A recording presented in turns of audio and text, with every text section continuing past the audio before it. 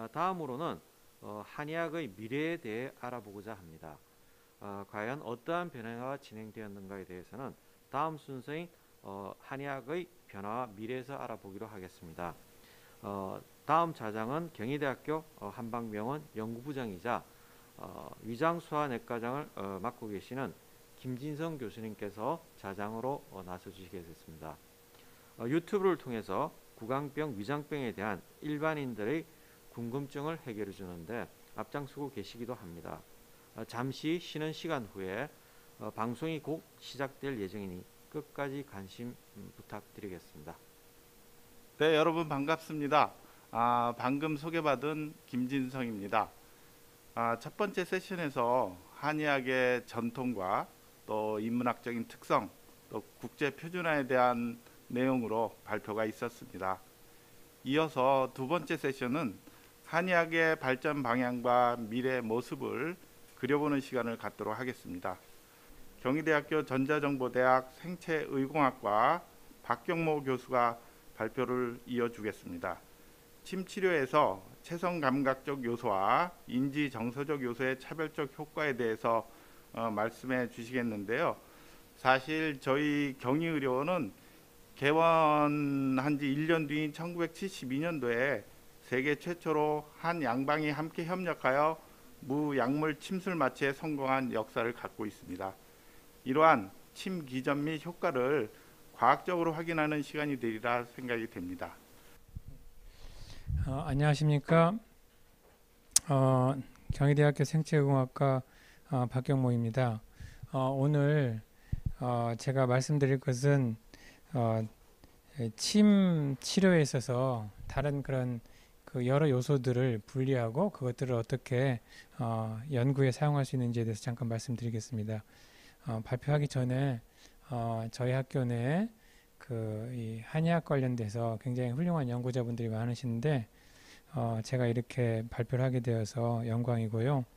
어, 무엇보다 그 아마도 어, 이 어, 좀더 그 기초적인 측면에서 접근하는 그런 다른 예들을 보여주시려고 저를 그 부르신 것 같습니다. 어, 그러면 한번 넘어가 보도록 하겠습니다. 자, 이제 침이 어, 무엇인가에 대해서 생각할 때 곰곰이 생각하면은 침을 여러 가지 그 맥락에서 이야기할 수 있지만 어, 사실 결국은 어, 피부에다가 아주 얇은 그런 이, 어, 니들을 어, 꼽는 거죠. 그러니까 일종의 그 이 어, 그냥 체성 감각 어, 자극이라고 말할 수 있습니다. 그리고 이 어, 그 꽂은 다음에 거기에다가 어, 이 자극을 하는 여러 가지 방식들이 있지만 그것도 결국은 어, 다양한 형태의 그 촉각이나 그다음에 압각 뭐 여러 가지 것들을 만들어내는 그런 체성 감각 자극이죠. 그리고 특별하게 그 침 치료는 어, 소위 어, 이, 그 경혈점에다가 그 자극한다고 그렇게 이야기를 하고 있습니다.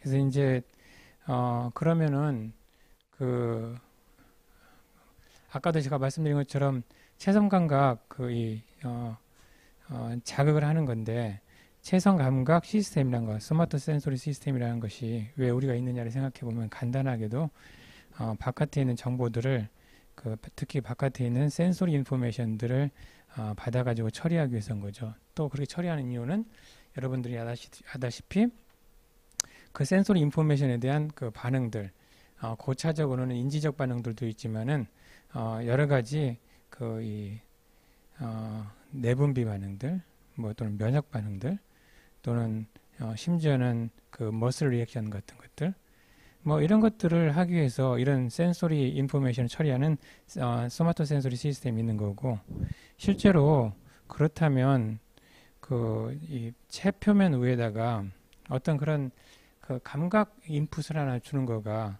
이게 어떻게 해서 그 치료 방법이 될 수 있는가를 좀 생각해 볼 필요가 있을 것 같아요. 물론 아까 말씀드린 것처럼 어, 어, 이것들을 어, 특별한 그런 위치인 어, 경혈점 위에다가 자극을 하고 또그 어, 안에서의 어떻게 이게 반응하는지 어떻게 작동하는지에 대해서 경락이나 기에 대한 어떤 그런 아이디어들을 어, 넣는 경우도 있죠.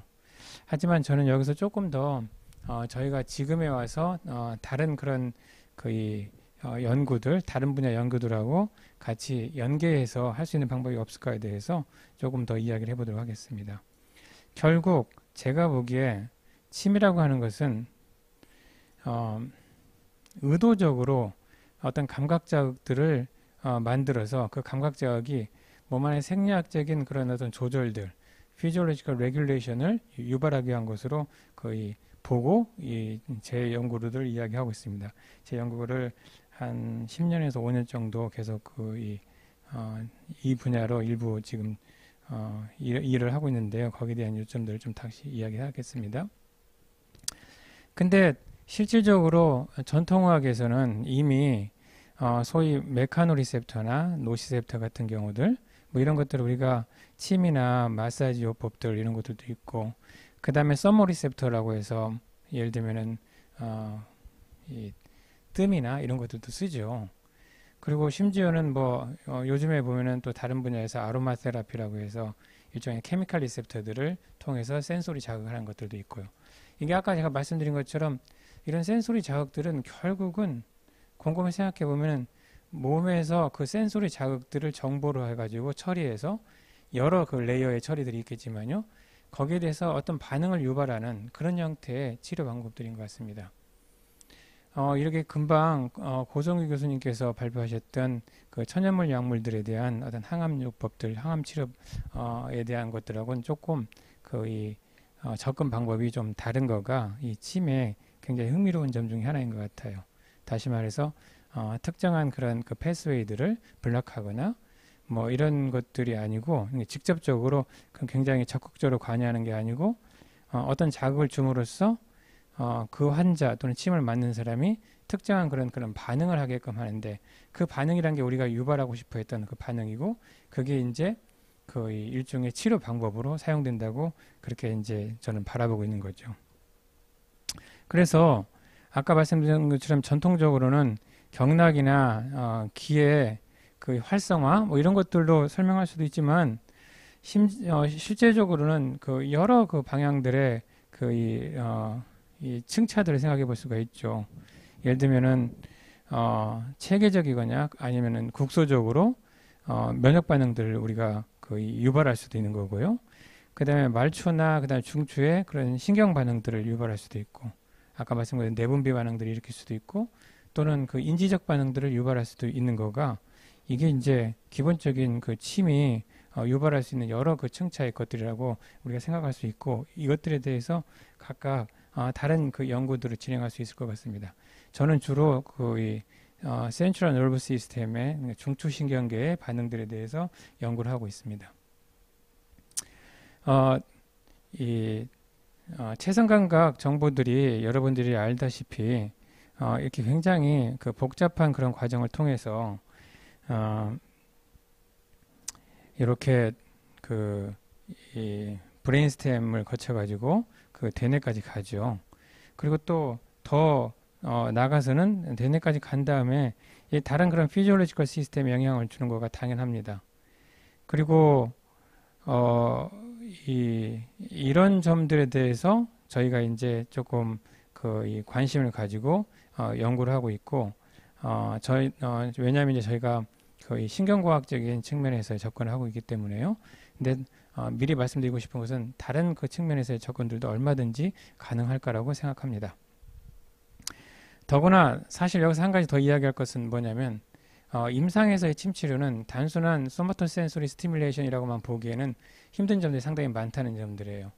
여러분들이 알다시피 의사하고 환자의 관계들, 그 다음에 또 아까 어, 침의 고유한 그런 어떤 그런 어, 어, 어, 접근 방법과 그다음에 여러 가지 그 이 어, 환자들의 심리적인 문제들, 환경적인 문제들 이런 것들이 interaction들이 있기 때문에 단순히 아주 그 이 순수한 somatosensory stimulation 효과만을 어, 임상에서 발휘한다고 말하기는 쉽지가 않죠.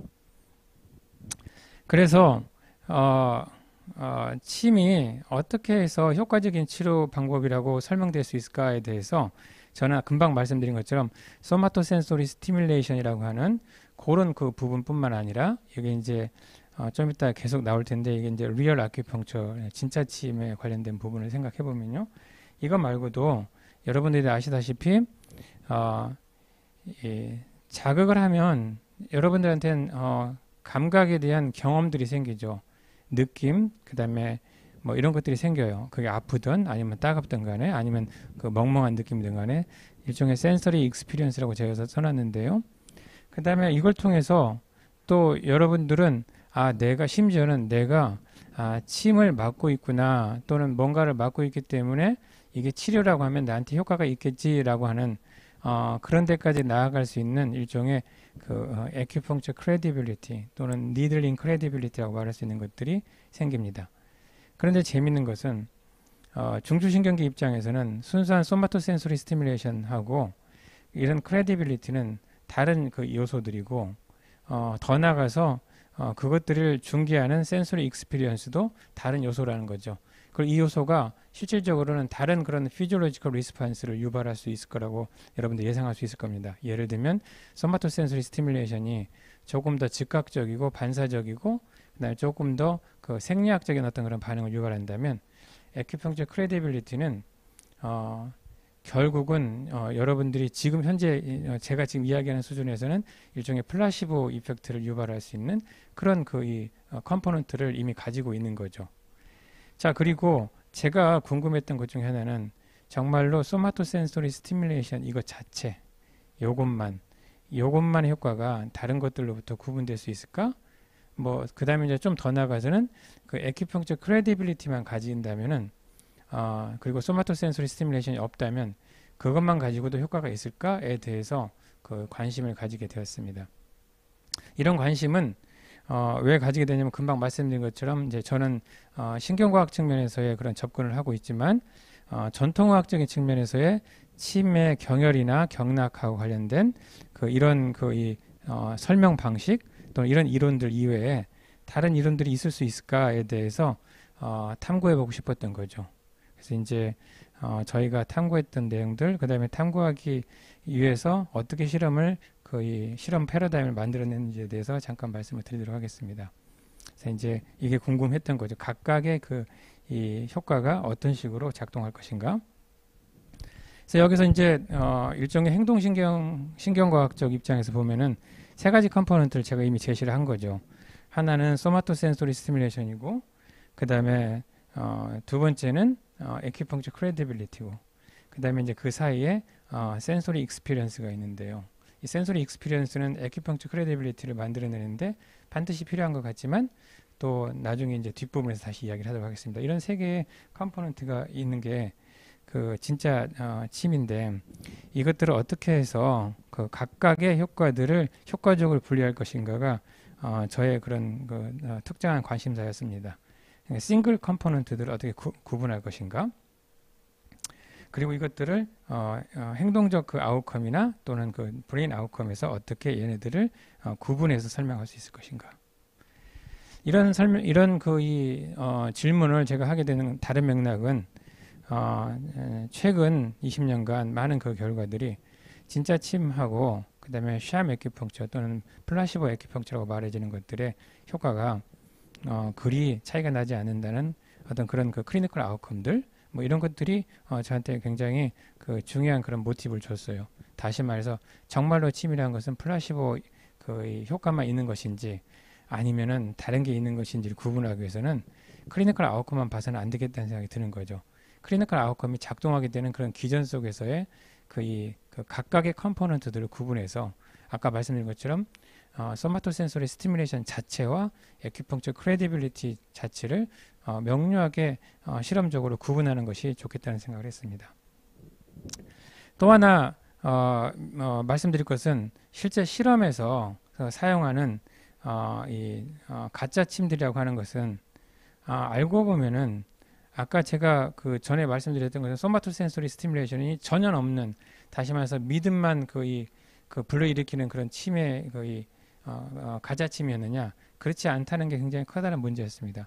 보통은 어, minimal acupuncture라고 해서 어, 경혈자리에다가 아주 미세한 그런 자극을 하거나 또는 경혈자리가 아닌 곳에 침 자극을 하거나 어, 또는 어, 가짜 침 도구들을 만들어 가지고 거의 뭐 치료하거나 침자극을 하거나 이런 식의 그 침자극들을 어, 가짜 침이라고 또는 sham acupuncture라고 말해왔던 거죠.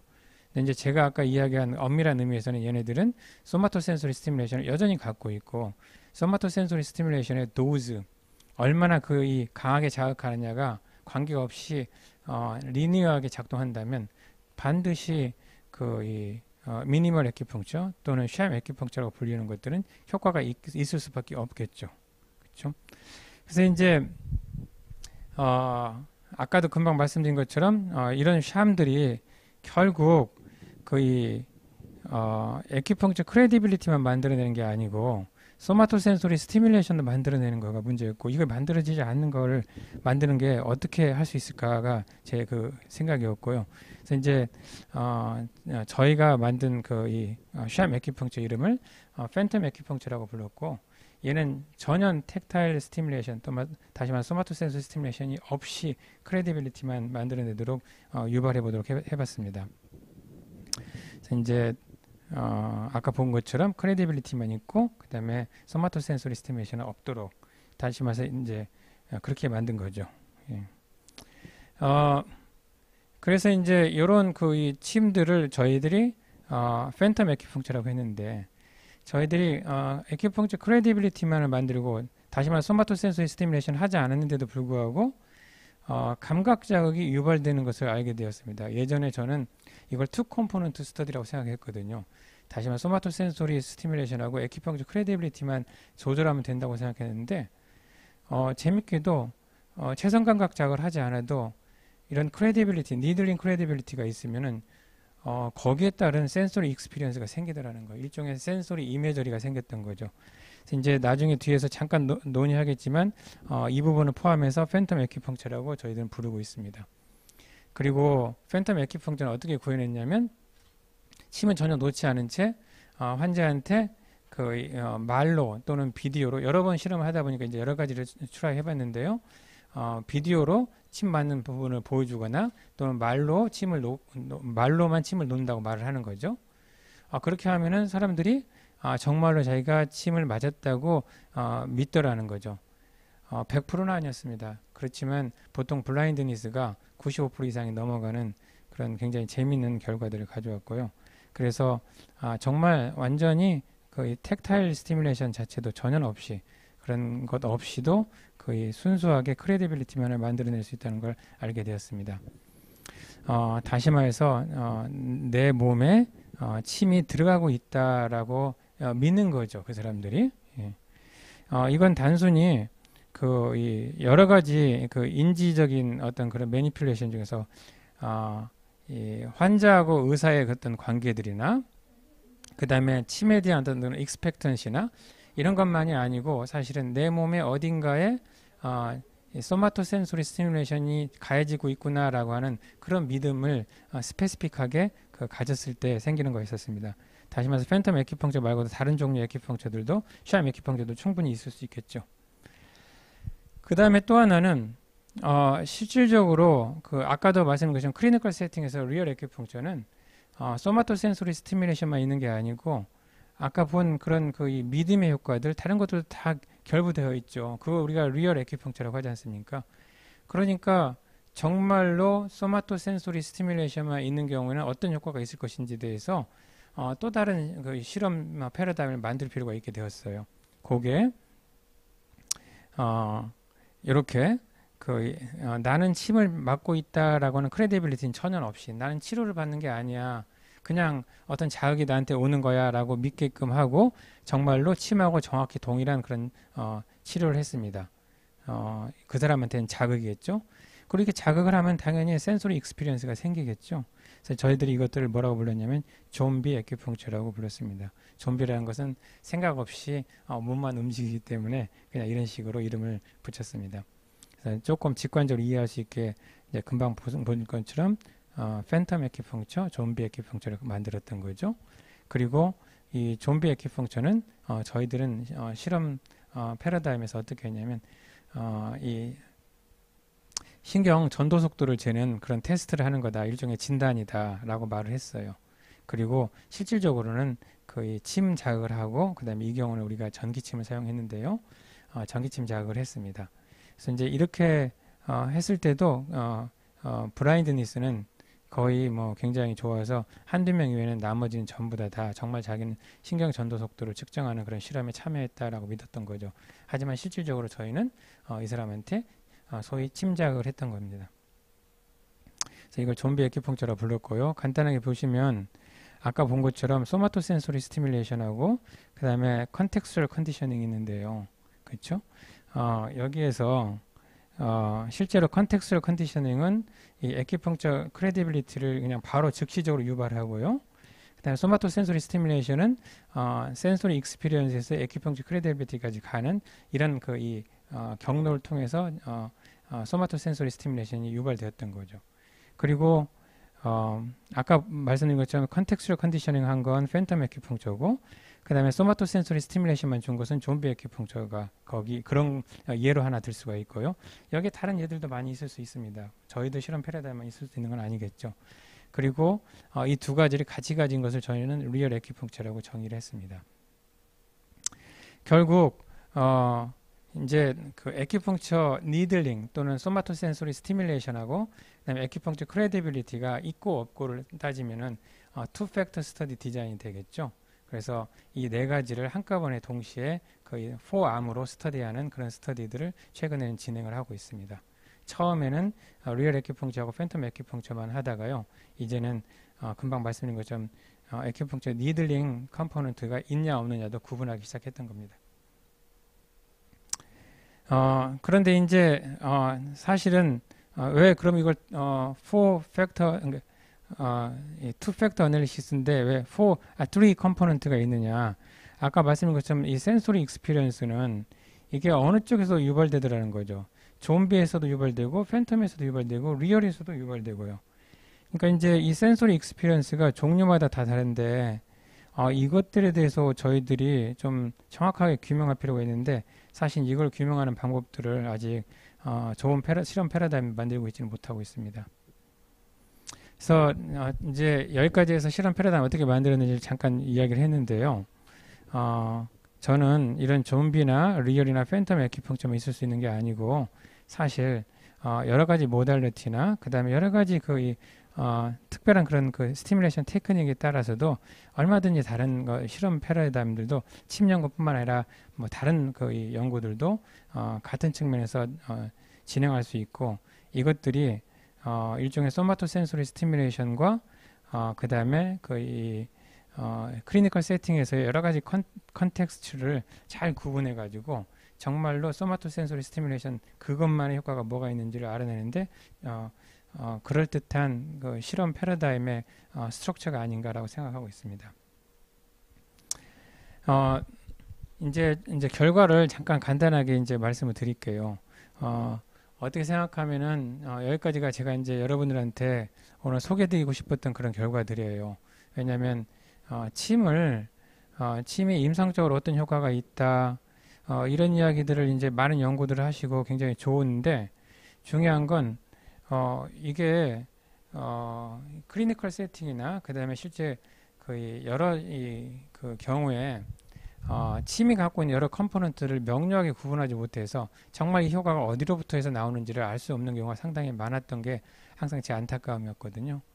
그래서 phantom이나 좀비 acupuncture는 그 아까 말씀드린 것처럼 어, 그것의 blindness가 저희들이 실험을 이제 2014년에 처음 시작했었는데요.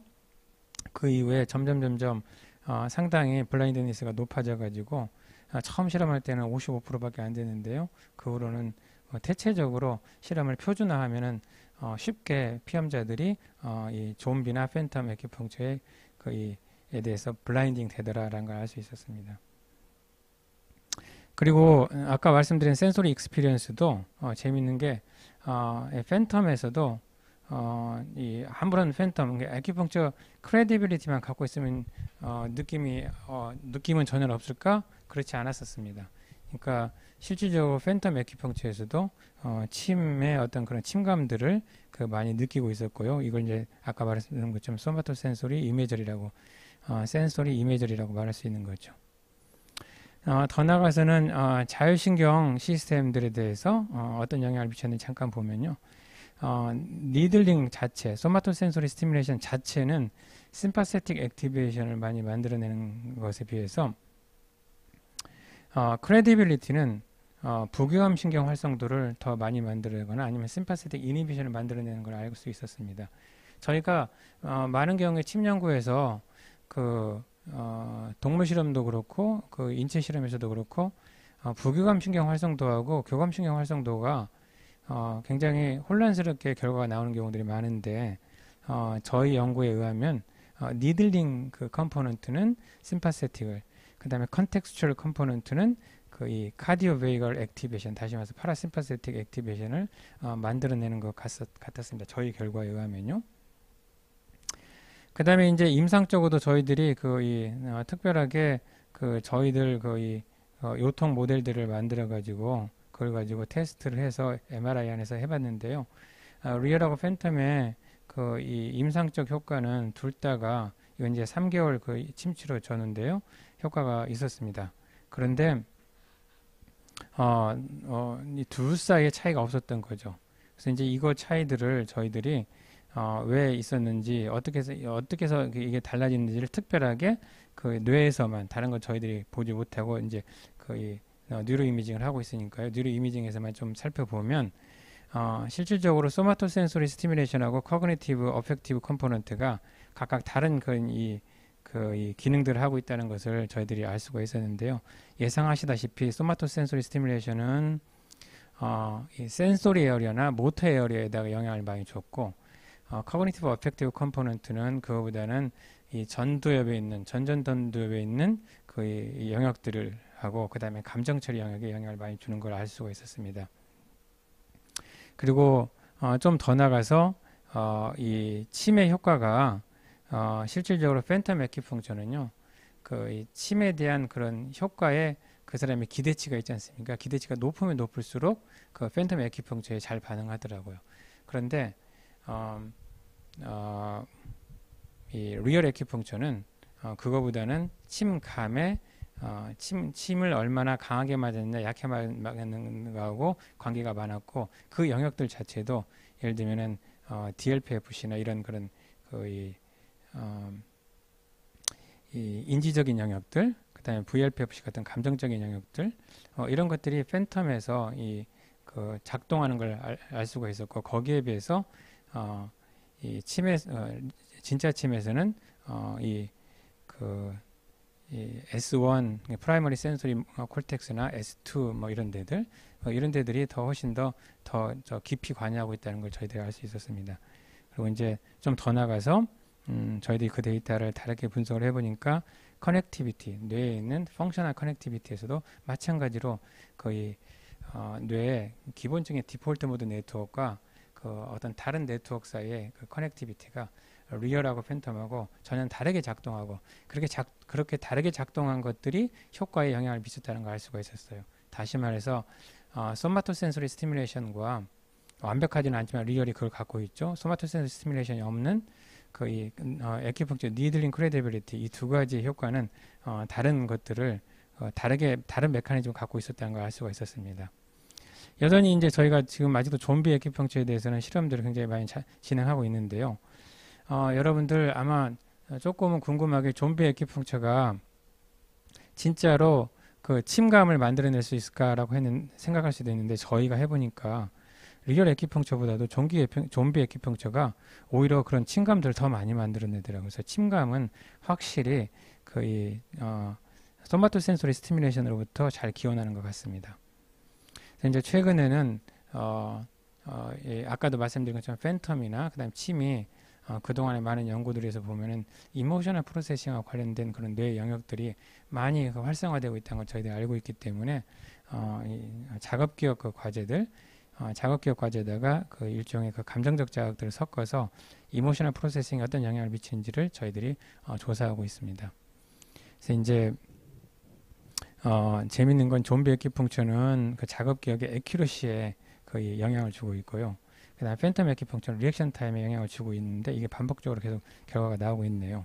그리고 이것들이 아까도 말씀드린 것처럼 어, 좀비 같은 경우는 somatosensory stimulation의 그, 그 이, 어, acupuncture sensation의 크기하고 관계가 있고 phantom은 기대감하고 관계가 있다는 것들을 저희들이 또 알 수가 있었습니다. 어, 하지만 이제 어, 이게 이제 아주 그 간단한 문제는 아닌 게 어, 실제로 저희들이 phantom acupuncture에서 주고 있는 것들을 보면 자기가 침감을 어떻게 어, 어, 치- phantom acupuncture에서 침감이 나타나는데요. acupuncture sensation이 나타나는데 어, 그것은 어, 이제 자기가 특정한 그런 이 몸의 어떤 부위에 자극을 받고 있다라고 하는 특정한 생각으로부터 기인한 거기 때문에 그냥 일반적인 플라시보라고는 생각할 수 없을 것 같습니다. 그런 점들도 우리가 많이 고려해야 될 것 같고요. 예. 자 여기까지 해서 어, 아까 말씀드린 그이 패러다임들을 소개하고 그 지금 어, 약 어, 몇 년간에 걸쳐서 그이 논문들을 발표하면서 이 분야에 어, 조금 도움을 되고자 이렇게 노력하고 있습니다. 어, 들어주신 여러분들께 감사드리고 이만 마치도록 하겠습니다. 감사합니다. 네, 한의학의 전통에 이어서 한의학의 미래 모습을 어, 그리, 그려본 세 분 연자의 발표 어, 잘 들었습니다. 첫 번째 연자께서는 한약물을 이용한 천연물 항암제 개발, 또 두 번째 박경모 교수께서는 치매 기전과 그 효과에 대해서 과학적인 연구 결과를 말씀해 주셨고요. 마지막으로 어, 이상훈 박사께서는 AI와 관련된 한의학의 미래 모습을 어, 말씀해 주셨습니다. 아주 유익한 시간이었다고 여겨집니다. 사실 지금 진행되고 있는 의료 혁신은 이제 단순히 질병 치료에 그치는 게 아니라 환자의 인간다움과 삶의 회복 그리고 질병을 예측하고 관리하는 단계로 접어들고 있습니다. 사실 저희 경의의료원도 이러한 미션을 실천하기 위해서 전력을 다하고 있습니다. 특히 저희 한방병원은 한방의 세계화를 목표로 지난 50년간 임상과 기초연구 경험을 쌓아서 이를 바탕으로 동서의학의 새로운 역사를 만들어 나가고 있습니다. 오늘 학술 행사가 한의학의 새로운 발전을 위한 밑거름이 되었으면 하는 바람입니다. 아, 코비드 19로 인해서 어, 처음으로 온라인으로 생중계한 어, 경희의료원 50주년 기념 학술 행사를 이만 마무리하도록 하겠습니다. 지금까지 저희 학술 행사에 함께 해 주신 경희 가족 여러분, 또 오늘 발표해 주신 연자분들, 또 시청해 주신 여러분들께 어, 감사의 말씀 드립니다. 수고하셨습니다. 감사합니다.